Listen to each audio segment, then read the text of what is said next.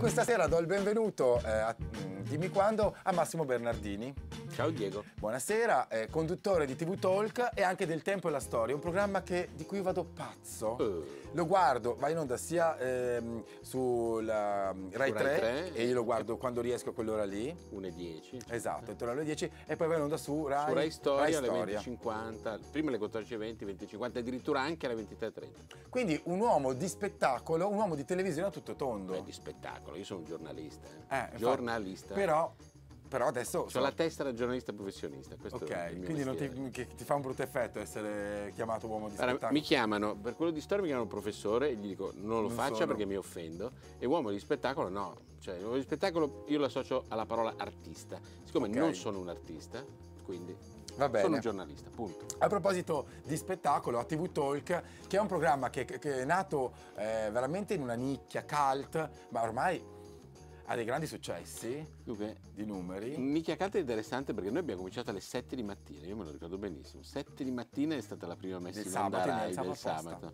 Addirittura? Sì. Eh, Veramente? Sì, ero uno dei... di Ma que- chi te lo faceva fare? Eh, mi piaceva il programma. Alle 7, metti la sveglia alle 7. Anche se diciamo la verità, io sono... mh, cioè, la vera star è Silvia Motta, secondo me. Ah, no, ma è vero, sono d'accordissimo. Perché stavo di creare gelosia invece. No, è veramente no, un giornalista. lavoriamo insieme da tanti anni, mi è molto simpatica poi. molto poi è bella tagliente lei, vero? Eh beh, si nasconde dietro alla questione dei numeri, delle cifre, per cui eh, può permetterselo più facilmente. Sì, forse sì. Comunque, tornando a quello che stavi dicendo, allora, eh, se culto, come lo chiami, lo chiami tu, era all'inizio, era interessante perché comunque prima alle 7, poi alle 7 e mezza è andato in onda, poi alle 9, quindi una crescita per noi, come dire, Eh, di, certo. di status enorme. E- ed era effettivamente un programma, onestamente, che non arrivava oltre le 500.000 persone di pubblico, di nicchia molto preciso, anche con un buon share, perché eravamo arrivati fino al 9 e il 10, però di un pubblico ristretto che appunto a quell'ora della mattina del sabato Sì. come dire, che si svegliava apposta come te a vederlo. In realtà da un po' di anni ci hanno messo al pomeriggio del, del sabato ed il programma è cambiato. È Sì. nettamente cambiato, è diventato per forza di cose più pop, cioè tu comunque il sabato pomeriggio hai un pubblico che ha un'offerta molto più larga, cioè dalle amiche del sabato addirittura De Filippi, Verissimo, Segreto. È vero. Cioè, come dire, quindi Sì. devi fare comunque un programma sempre di approfondimento, ma un pochino più largo. Sì, un po' meno magari tecnico, però è comunque un modo per, eh, eh, come dire, godersi la televisione che uno magari non si è visto per diversi motivi durante la settimana, ma anche eh, attraverso gli ospiti che ci sono eh, e anche il cast fisso, avere una proposta critica rispetto a quello che è stato Ecco, messo in proposta onda. critica è una bella definizione, nel senso che effettivamente cerchiamo, non ci riusciamo sempre, perché No. lo ammetto tranquillamente, però cerchiamo di avere uno sguardo critico. Critico non vuol dire, come dire, eh, vado a vedere le magagne che ci sono, ma critico vuol dire che non te la bevi eh, acriticamente, appunto, cioè, Esatto. ma provi a ragionare su quello che vedi. La dimostrazione del vostro successo, secondo me, eh, sta nel fatto eh, che il pubblico è molto meno stupido di quello che a volte, soprattutto le- alcuni addetti ai lavori, pensano sia e infatti il pubblico non è così acritico e si sente molto rappresentato. Ma visto che passano praticamente tutti i personaggi della televisione, in questi anni ti sei fatto un'idea rapidamente su mm, com'è la gente che va in onda, che sta dalla- di fronte alle telecamere? Secondo me si divide in due parti. Mm. I professionisti, come dire, abbastanza distaccati e i narcisi assoluti, quelli che Ci come credo. Molière vogliono morire, morire sulle assi non del palcoscenico ma della televisione. Sì. Non ti dirò mai quali sono gli uni e quali sono gli altri, Uffa, eh, lascio al pubblico, eh, ma si vede. La sua eh. critica, me si vede, si vede proprio a occhio nudo una cosa come questa. Però, insomma, diciamoci la verità, la televisione è una cosa che fa ammalare, no? Io ormai ne faccio anch'io tanta perché alla fin fine sono in onda Sì, praticamente tanto. sei giorni alla settimana. eh, Sì, sei, sei rincorsa con eh, gli orari della D'Urso. eh, Ecco, po'. sono quasi, fortuna un po' meno come, Sì. come numero, come monte ore, diciamo.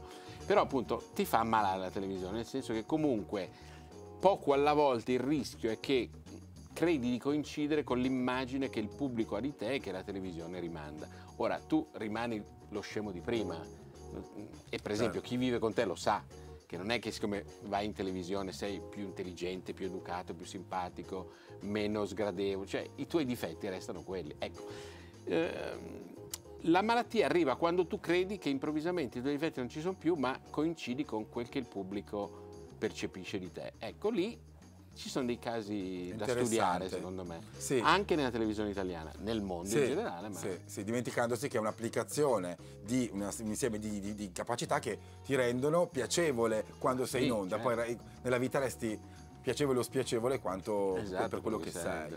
Ehm, come mai riuscite a parlare ehm, di argomenti televisivi eh, che quando poi li guardi sono più noiosi del, del talk che fate voi? Beh, innanzitutto è la, l'arte del montaggio, perché se un, se un programma dura 180 minuti, tu ne fai vedere un minuto e mezzo, diventa un capolavoro anche la cosa più brutta. Cioè tutto quello che è il difetto di un programma, per esempio, eh, il ritmo troppo molle oppure sì. l'insistenza su certe immagini, su certi racconti, tu l'hai ridotto a pochi secondi, quando non ti piace a pochi secondi. Cioè in realtà quasi sempre i programmi brutti noi li facciamo, sembrano quasi belli. belli. Esatto, a proposito non... di programmi brutti, eh, tu ne guardi di televisione abbastanza, comunque ne guardavi, eh, per forza. Beh, per forza. Sono diciamo 15 anni che ne, me ne bevo a tonnellate. Insomma. Ma fuori dai denti, a parte l'immagine giustamente di um, distaccato e poi di critico della televisione, c'è qualche programma che ti ipnotizza al di là della qualità del programma?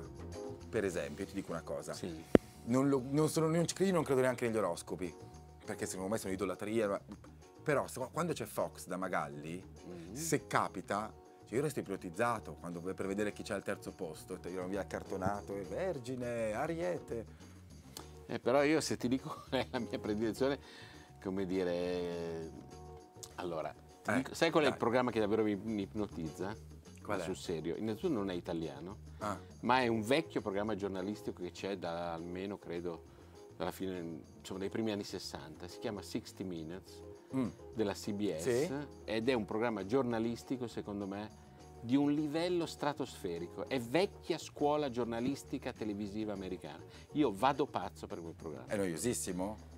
Eh, un po' sì. Ecco, io forse ho questo difetto. Ti la televisione che mi noiosa. piace veramente è bella pesantona noiosa. Per esempio, io mi innamoro a volte attraverso Rai Storia, attraverso le eh, schegge, attraverso le teche di meravigliosi programmi. L'altro giorno ho visto, per esempio, un racconto, pensate, della crisi del canale di Suez del 56, un filmato di Omber Bianchi del 67 in bianco e nero e me ne sono innamorato perdutamente. Sono malato, va bene. Questo è feticismo, sono malato, eh? rasenta la perversione, eh, ma però, ognuno ha il diritto alle eh, sue, eh, in privato. Cioè, Uno voi, voi, siete cresciuti a Radio DJ, io sono cresciuto a Radio 3, capito? C'è una certo. Ma la Radio 3 di di, di 30 anni fa, di 40 anni fa, perché sono vecchio io. Quindi una Radio 3 che non ha idea di quanto fosse spessa, proprio densa, cioè una roba veramente heavy. Eh, beh, heavy, heavy metal. Allora, a proposito di televisione noiosa, sì. c'è un genere che ha stancato tutti tranne coloro che continuano a condurla, eh, questo genere di te- televisivo, che è il talk show politico.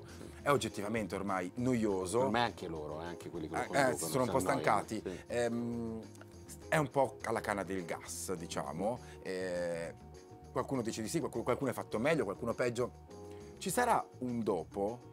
Cioè finirà, io ti, faccio, ti dico la mia mhm. teoria eh, e te la sottopongo. Io penso che dopo tutto questo, superato il momento della necessità di tutti di esprimersi, ormai la libertà di espressione si sta autosoffocando. Si tornerà, Bella, questa, condivido questa osservazione. Si tornerà un po' alla un'altra necessità che questo programma nel suo piccolo cerca di fare, cioè tornare ai fondamentali, cioè alla conoscenza un po' più approfondita bravo. delle cose. Sei d'accordo? Sei bravo però, eh? osservazioni acute. Sembro dirti. scemo. Sei un ottimo analista televisivo. Grazie, grazie, grazie. No, condivido questa analisi. Eh, allora, innanzitutto c'è un dato da cui partire, come facciamo sempre noi, cioè il dato del pubblico. Sì. Primo dato per cui questa cosa sta diminuendo e diminuirà. Vedrai che l'anno prossimo non ci sarà lo stesso numero di talk show nella prossima stagione. Eh? 19, ne, ne, eh. ne hanno contati 19. Ci metto la firma perché di fatto tutti hanno all'incirca dimezzato il pubblico, questa è la verità. Sì. Poco alla volta lo stanno dimezzando. Cioè, pensiamo a Santoro. Santoro era il leader. Sì. Eh, faceva fino al 25% su Rai 2. Oggi Santoro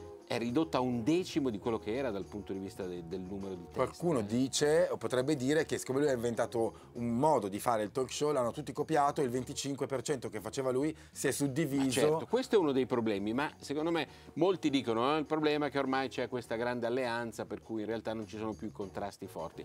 Io a questa teoria credo al 30%. Mm. Il 70% secondo me è proprio che come è già successo, pensa ai reality, è già successo che un grande genere alla fine tramonti. Cioè la nostra televisione, come tutta la nostra cultura, consuma, consuma i prodotti. Certo. Li moltiplica ed è un modo di consumarli. Il pubblico lo vede. Cioè, siamo, lo sappiamo, il paese che vede in assoluto più televisione, per esempio. No? Sì. Però in questa bulimia, alla fine tu consumi prodotti, consumi la tua attenzione, consumi quel tipo di televisione e alla fine per forza di cose bisogna cambiare. Insomma. Oddio, io se penso alla quantità di gente che sarà disoccupata presto perché sono tanti, Ma se sono no. 19 talk, Ma vedrai, tutti i conduttori, tutti gli opinionisti fissi, nuovi generi invece di tutti i occuparti. politici che di lavoro fanno quello, passano da un talk show all'altro. Questo è un problema diverso. Questo è un problema dei- diverso perché i politici in realtà, come dire, in qualche modo sono stati fino adesso eh, la benzina gratuita Eh di sì. tutto questo. Ora, si- guarda, faccio un esempio che, che è Vespa. Vespa è uno, come dire, porta a porta è uno degli esempi no, classici, uno dei padri, compie 20 anni quest'anno porta a porta. Allora, Vespa sta eh, eh, dimezzando le sue scalette. I Mm, politici stanno diventando sempre più la seconda parte e, e vedrai, era, ricordiamoci, la terza Camera si diceva in Italia, Sì. cioè Sì, certo. dopo il Senato, dopo la Camera, arrivava Vespa con i suoi politici. Il fatto che si stia riducendo sempre più è il segnale più chiaro. Ma Vespa sparirà. Ma no, Ma no, ci certo. sarà più Albano e meno Alfano. È molto semplice. E questo non si sa se sarà meglio o peggio. Ah, vabbè, questo è Perché, vedere. perché cer- certo. Perché nel sole l'abbiamo già sentita qualche volta. Sì, sì, e anche, le- anche il pensiero. Anche, il pensiero del cantante, certo. che saluto ma che non condivido in niente, questo ne approfitto per ricordarlo. In niente. Andiamo avanti. A proposito- con Albano tu? Con quello che pensa e che dice molto. Ah, pensa, sì, sì, sì. Ma il suo vino è buono però. Ho capito, io non però non posso, non, sto, non siedo alla tavola di, di chi non mi gradisce. Ah, c'è Capisci? qualcosa Sì, sotto, sì. capito? Ma sì, c'è una velata omofobia Beh. nel Signore che, Ah, sì? che Non mi sento oggettivamente di, come dire, allon- tenerlo lontano da me con grande gioia. Pensa che non lo sapevo, vabbè. Non- Comunque, eh, si diffida, eh, diffida, diffida dagli, dagli albano e dal del vino buono. Ok. A proposito di conoscenza, volevo citare appunto Il tempo e la storia, che è un programma delizioso Grazie. che sfrutta una, una delle, ehm, come dire, delle ricchezze non sfruttate di questo paese, che è la Teca Rai, le Teche Rai. Certo. È un programma, per esempio, io faccio un esempio da Poi te ne fan. faccio uno bellissimo che... Io ho scoperto che e sarebbe bellissimo farlo rivedere oggi, que- quell'episodio, quella puntata, in cui si parlava delle mondine. Che vedere quella puntata con quelle immagini di quei contributi vecchissimi, insomma, di servizi giornalistici datati, oggi spiegherebbe moltissimo, insegnerebbe moltissimo a certi capi dei sindacati come si fanno certe lotte, secondo me, e potrebbero ottenere forse più No, risultati. sei uno dalle idee forti, eh, comincio a capire. Eh? Un po'. Un pochino Sì, forti. sì. No, senti, eh, hai ragionissima. E ti faccio un esempio di quelli che a me ha colpito molto. Beh, diciamoci una cosa sottovoce. Sì, sì. Quelli che facevano quei programmi lì erano molto più bravi di noi. Ma assolutamente. Proprio perché allora c'era solo la RAI. La RAI aveva un- un'idea. Porto qui a far televisione i più bravi Meglio. del paese. Quindi, a- almeno a me, guarda, sono certo, non mi avrebbero preso. Non mi avrebbero preso in, in quella televisione. lì. Quindi lì c'erano i più bravi a scrivere, i più bravi a Sì. filmare. Insomma, lo guardavo l'altro giorno vedendo il rapporto fra testo recitato dal, dalla- dal voiceover e le immagini scelte. Cioè, oggi facciamo tutto alla rinfusa, allora erano di una precisione calligrafica. Ma ti faccio un esempio che a me ha esaltato per capire cosa sono la forza delle teche. Mm, Allora, c'è una grandissima attrice della storia italiana, di cui adesso non mi ricordo il nome, aiutami, una grande attrice storica Oddio. eh, eh, del Novecento. eh, La- la- la- la- Paola la- Borboni, la- no. No, no, no. Eh, la... Che non è andata mai in televisione, dei primi del Novecento, che ha avuto una grande storia d'amore con D'Annunzio. Eleonora Duse. Eleonora Duse, bravo perché io sono anziano. Faccio l'autore di bisogno. Massimo. Bernardini. Gli- Lo prendo, eh, lo prendo, lo prendo, lo prendo, vi assolutamente, lo prendo. Allora, Eleonora Duse, raccontata in televisione, tu dici, beh, come si fa? Eh, Non ci sono filmati di Eleonora Duse, grandi foto, ma non c'è niente. Certo. Qualche registrazione, ma non c'è niente. Da, un- da uno sceneggiato con Lilla Brignone, prima che comincia la- eh, lo sceneggiato con la storia della Duse, c'è un colloquio con Visconti, con Luchino Visconti. E Luchino Visconti cosa racconta? Anche lui non... Ma lui bambino racconta di essere andato al Manzoni di Milano, portato da sua madre a vedere la Duse e racconta di sé che guarda la Duse con sua madre. E, e- e per far capire in una parola cos'era la Duse, dice Dopo mezz'ora che eravamo a teatro, io comincio con mia madre e le dico: Scusa, mamma, ma quando è che comincia a recitare? Stupendo. Cioè, in questo pezzetto di teca c'è tutto. No? Ti fa capire che lei, cioè la recitazione naturalistica eh, senza la retorica precedente, ottocentesca, tutte ste chiacchiere sono riassunte in una cosa del bambino. Visconti. E poi lui con la gay Ah. antelitteram, prima che, che ci fossero con tutti i movimenti, le Duse, si conf- abbiamo già finito. Uffa, Abbiamo ma come? Io finito? l'aspettavo Massimo da tutta la stagione praticamente. Quando eri senza la gallina, eh, sì, sì. Eh, vabbè, niente, allora dobbiamo andare velocissimo. Quando arriva la Sì. gallina vuol dire che il tempo è poco, ma ho il tempo di regalarti un Oh. piccolo segno di gratitudine. Con questo programma abbiamo voluto dare dei segni di rottura come un certo tipo di tv sprecona e autoreferenziale. Abbiamo adottato una gallina che vive in maniera non intensiva, Quindi c'è un uovo. felice. E la felicità della gallina ci arriva tutti i giorni attraverso... Un uovo. Sì. Bello. E quindi- Ma lo posso bere questo? Puoi fare quello che vuoi. È eh, fresco però. Sì, sì, sì, è fresco. Ehm, quindi eh, la gallina si chiama Chanel. Devo riuscire ad arrivare a casa senza romperlo. Eh, questa è la scatolina, adesso vedi un po' tu te, come fare. regolami. Intanto ti interrogo, ci sono le domande veloci di dimmi quando. Sei pronto? Ah, vediamo. Mm. Ecco, lì vado malissimo, lo so già. Vabbè, Vediamo. Proviamo.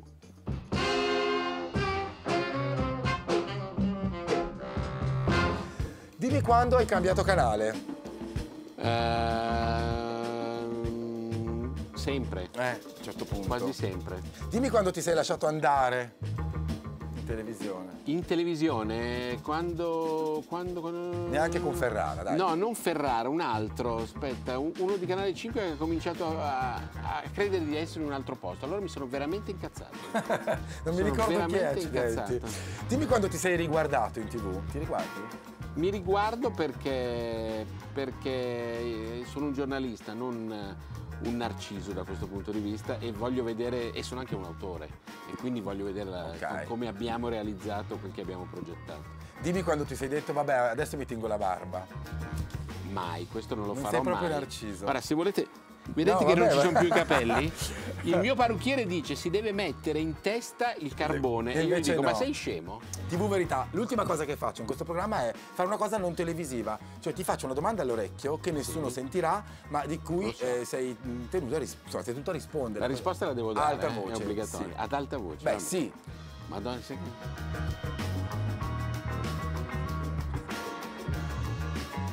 Sinceramente. Ma devo dire il nome? No. Cioè, Ma a casa no? Stare a casa. ecco, siamo proprio Stare casa. d'accordo. A casa. Massimo, grazie mille. Grazie a te, Diego. Ci vediamo eh, in tv eh, sabato con TV Talk e tutti i giorni su Rai 3 eh, all'una e qualcosa, E 10. e 10 oppure E su Rai Storia. storia. Esatto. Perfetto. Grazie, buona serata Grazie. a tutti. Ciao.